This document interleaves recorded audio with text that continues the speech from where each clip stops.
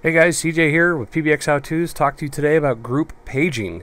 Kind of a cool feature. Um, what group paging does is allows uh, users to make an announcement over a group of digital speakerphones. Now they have to be digital speakerphones, which is, for instance, for example, uh, 8410s, 6416s, 2420s, those types of sets. You can't do it to analog phones because it comes over their speakerphones.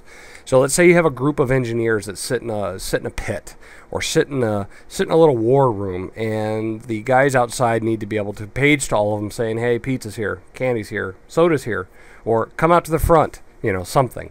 Um, that allows you to page that group and they're going to hear you. Now, some considerations with group paging. You can have up to 32 paging groups on one system or on one media server. Uh, each group can consist up to 32 extensions, and you can assign the same extension to different groups. So basically allowing to add more groups. So we're going to add one. Add group page uh, 1. And we're going to say this one is 1009.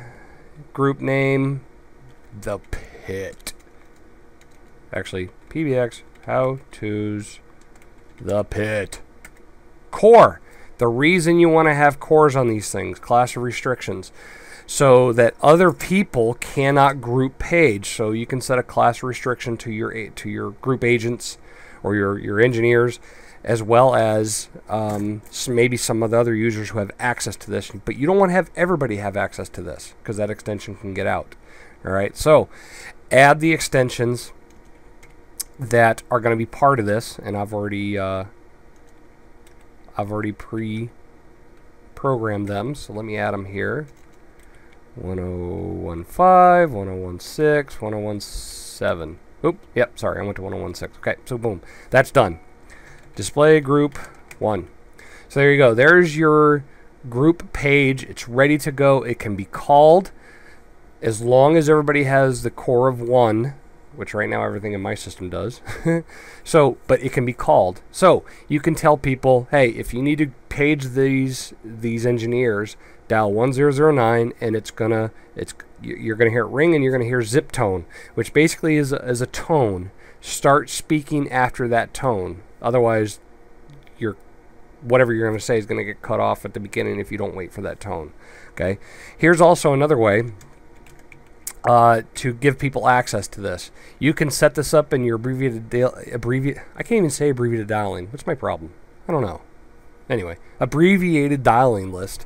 You can set it on a personal, a system, or whatever. You can uh, you can do an auto dial. 1009. So you can set a button to do it. But again, it, it, there's ways for you to set up the numbers on, on specific stations but as long as everybody knows that has access to that group page, to dial 1009 and it's going to group page those folks. Okay? Um, what else? Oh, some things to, to remember about group page. Display group 1. Oops, 1. 1. There. Uh, pages are not always heard on every telephone in a group. Um, and, and that happens based on if a phone is set to send all calls or do not disturb. Um, what else? Oh, if they're on a phone, if they're on a phone call, if, if for some reason that phone is not idle, uh, it's not going to get that page. So just just be aware of that. Also, if you have an attendant who does a barge in on on a group page, remember everybody's going to hear it. Okay, so just be aware of that. Um, but other than that, pretty simple feature, really cool feature, depending on what your business does. But this allows me, as the head of the engineering group, to page them to let them know, hey, everybody in my office, you know, or hey, go get the pizza, it's at the door. or hey, video game session, let's go. Anyway, sorry, I digress.